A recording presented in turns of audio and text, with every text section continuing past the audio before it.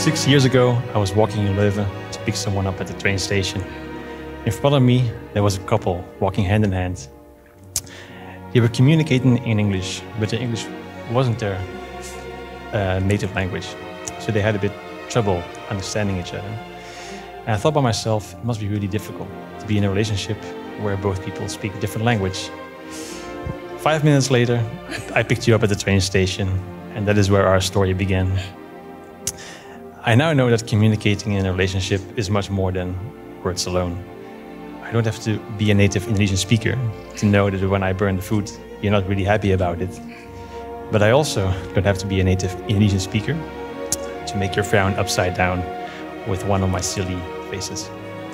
Love is a uni universal language, one that we all speak. So I hope you don't mind that I put it down in words how wonderful life is when you're in my world.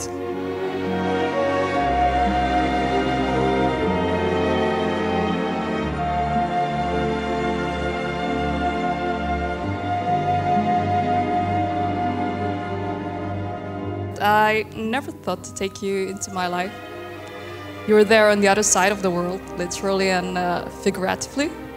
Maybe our minds are alike, but still I couldn't imagine the blueprint of my life would have you in it.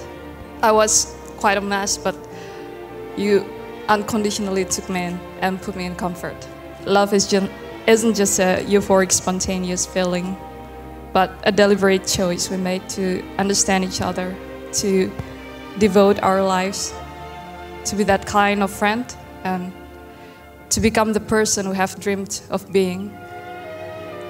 Therefore, in front of God and surrounded by your loved ones, here is my bond.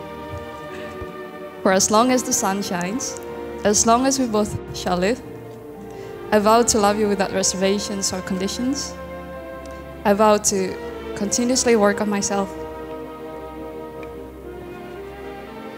to be the wife you deserve. Promise to support your dreams and cheer you up when life hits you hard.